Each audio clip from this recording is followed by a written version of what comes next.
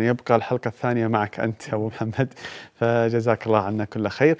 نأخذ مهارات لما بعد الزواج.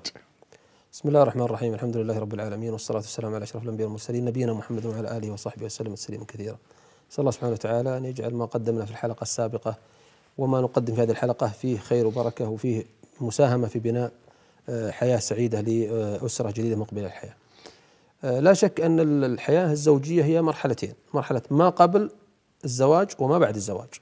يعني المرحلة الأولى اللي كما تطرقنا في اللقاء السابق في مرحلة الخطبة والتقدم ومرحلة الملكة وما يتعلق فيها. الآن ننتقل إلى مرحلة الساعات الأولى من اجتماع الزوج والزوجة تحت سقف واحد في تكوين أسرة جديدة ولبنة جديدة في في في المجتمع.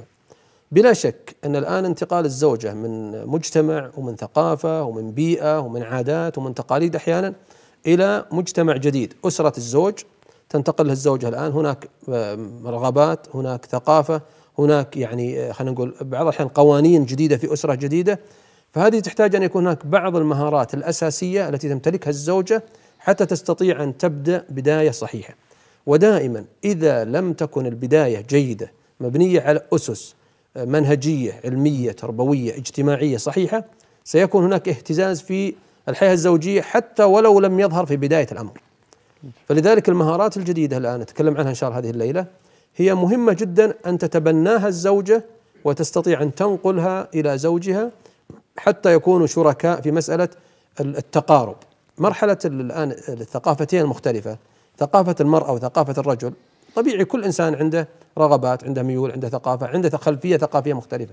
الآن يجب أن يكون هناك تكامل وليس اندماج أو ذوبان وهذه نقطة ترى جدا مهمة.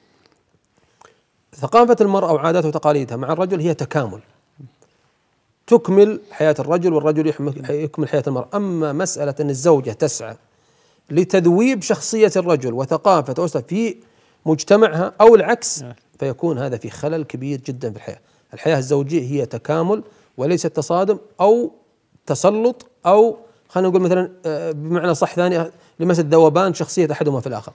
إنما هي تكامل لبناء حياة أسرية جديدة. يا سلام هذا الفكر لو يعني جعل أمام كل مرأة وزوج هذه الفكرة فقط بس أنها تدخل بحياة تكاملية.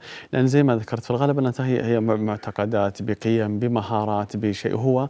وكل التحدي يكمن أن كل واحدة تريد فرض ما عندها. طيب أول مهارة في هذا الفكر في هذا الذوبان وهذا التكامل ما نعطيها أول توصية للمرأة؟ طبعا أول توصية لمسألة الدخول بمسألة اكتشاف الزوج. اكتشاف يعني رغباته اكتشاف آه، ميوله اكتشاف ثقافته اكتشاف الأسرة الجديدة الآن أو البيئة الجديدة اللي مقبل عليها. إذا استطاعت أنها تكتشفها بهدوء واستقلالية بمعنى أنها تحاول هي تكتشف هذا الشيء. لا تسأل عن مثلا ناس آخرين أو تستعين مثلا بصديقات وغير لا. هذه حياتي الخاصة.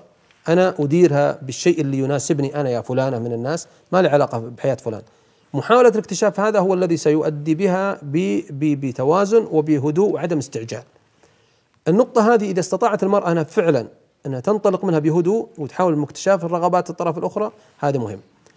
عدم محاولة هي أن تفرض هي رغباتها وميولها أو معنى صح الضغط على الزوج مبكرا. لأن الآن في بداية الزواج هناك للأسف يعني خلفية عند الزوجة أو خلفية عند الزوج في بعض الأسر يجب أن تفرض شخصيتك من أول يوم.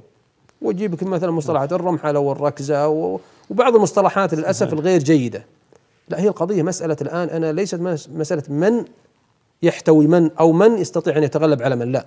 ومن يستطيع أن يكون هو مساهما في بناء حياة جديدة. وهذه لن تكون إلا بدخول بتأني وعقلانية واستعداد نفسي من الزوجة على مسألة أن متى ما كانت الصح في أي مكان أنتقل له رأيت أن عادات أسرة زوجتي صحيحة أنتقل لأسرة عاد ما عندي مشكلة. أتنازل عن أحيانا مثلا قيم مبادئ أحيانا معينة قد نشأت عليها خاطئة. وجدت أن الصح في الضفة الثانية أنتقل له مباشرة لأن هذه حياتي الجديدة طيب بعض النساء تقول يعني أنسلخ من عاداتي ومجتمعي لا. أنا أنتقل. الذكاء والمرونة بين الزوجين أن أبحث عن الشيء اللي يساعد في بناء حياتي أنا. أستطيع أن أوازن بين مسألة والله حياة أسرتي السابقة وحياتي الجديدة التوازن والمرونة فيها والتكيف في مسألة الآن أنا انتقلت لأسرة. النقطة الثانية قد أجد أن هناك شيء مو مو بالصح وأنا خطأ ولكن هذه عادات أسرة زوجي. قد أكون احاول أتكيف معها ليس عيبا أن أكون أتنازل عن شيء معين وأكون أنتقل مثلا إلى والله مثلا بعض عادات آه، أهل زوجي الأسرة المق... اللي أنا الآن يعني آه، انضميت لها ليس عيبا بل ذكاء. ان أكون مثلا فعلا أندمج معهم. بعض الأخوات أحيانا تقول لك لا أنا والله حتى بعض العبارات ما عندها استعداد إنها آه، تلتقط بعض العبارات الجديدة أو بعض الألفاظ اللي تقول لا أنا بحاول أتمسك بعاداتي وتقاليدي وألفاظ.